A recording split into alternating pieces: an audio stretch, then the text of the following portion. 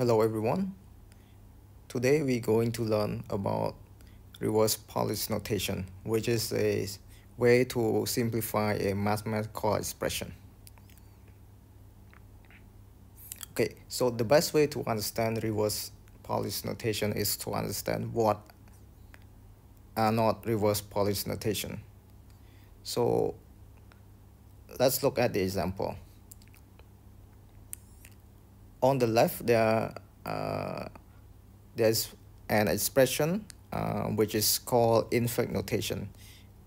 It is what we all familiar with uh, and it's very simple. Um, we have 4 plus parentheses 7 minus 3 multiplied by 3 and multiplied by 2 and we can actually uh, get the result very quickly and very easy.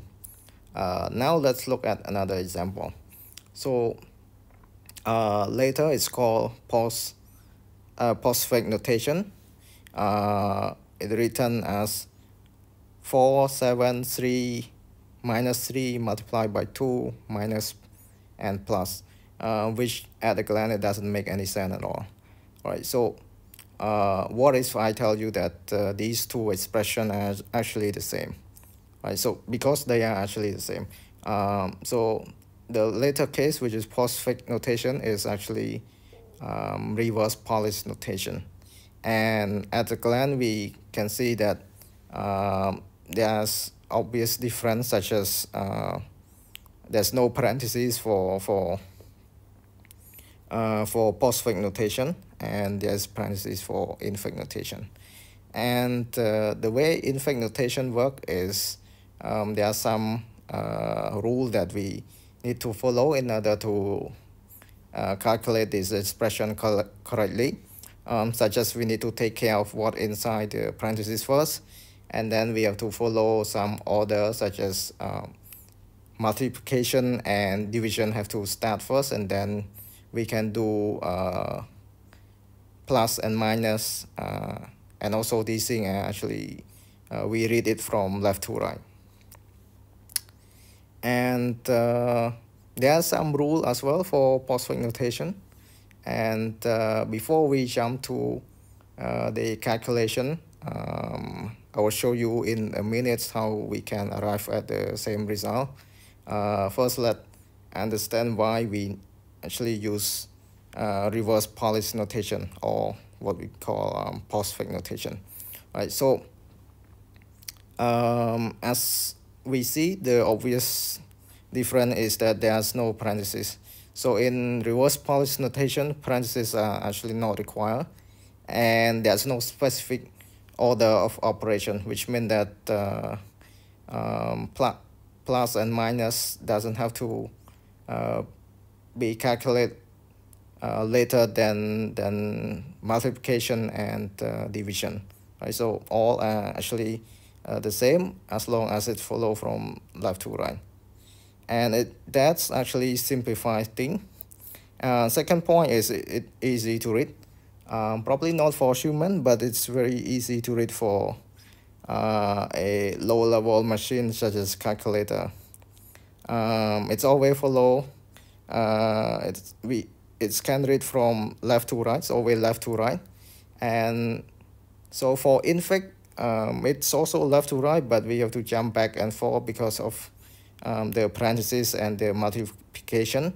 For example, we have 4 minus uh, parentheses 7, uh, 4 plus, min 4 plus parentheses 7 minus 3, but actually we, um, we put 4, just uh, we leave 4 alone, and then we go straight to uh, uh, the parentheses of um, 7 minus 3 and then we do the multiplication of uh, multiplied by 3 and then we go back to 4 and then minus 2 and so on. So uh, same way left to right but we have to jump back and forth depend on the order operation. Uh, but it's not like that for reverse Polish notation. And uh, it's one of the application is that it we can be used in the calculator. For example, um, this photo is a, a HP uh, certified pocket calculator, which was invented in 1972. Um, I'm sure that all of us, we uh, use a calculator and it's pretty, uh, pretty difficult sometimes to uh, type in the parentheses and, and so on. So uh, this is the purpose of reverse Polish notation. We just type in all the thing with uh, following uh, left to right order and there's no need for uh, parentheses.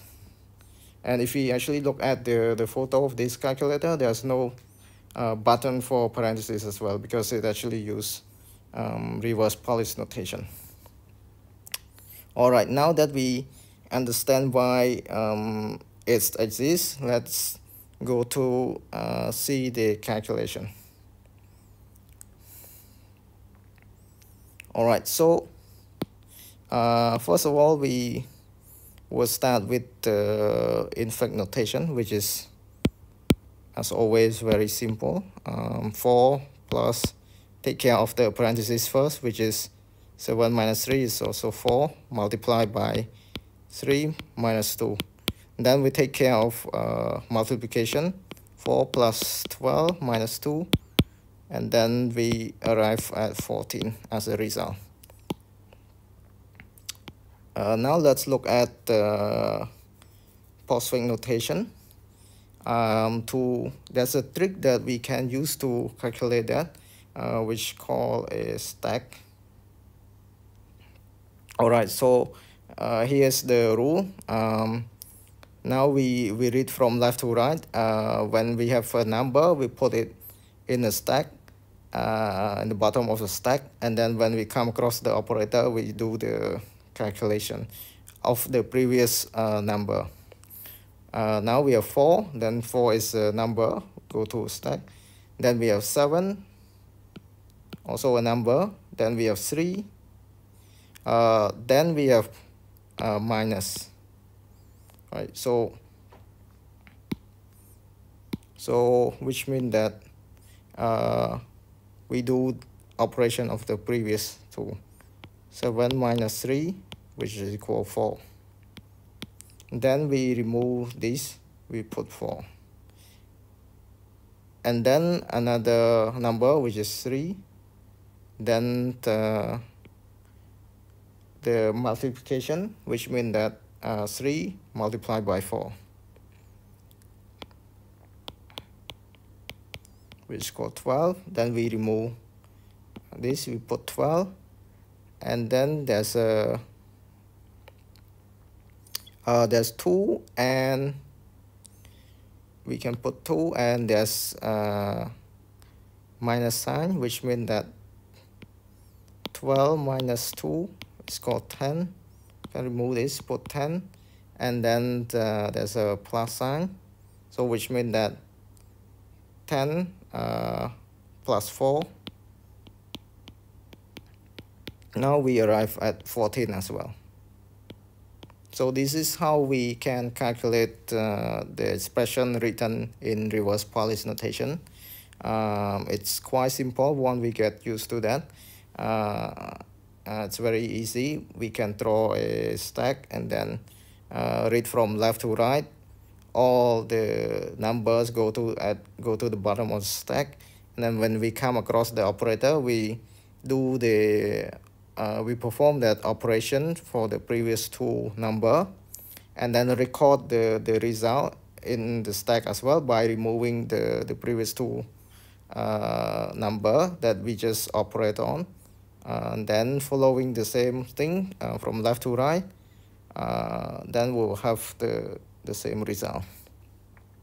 So now you have seen um, how we can uh, work on that and you also uh, learn the uh, the reason why we actually use that and why it exists.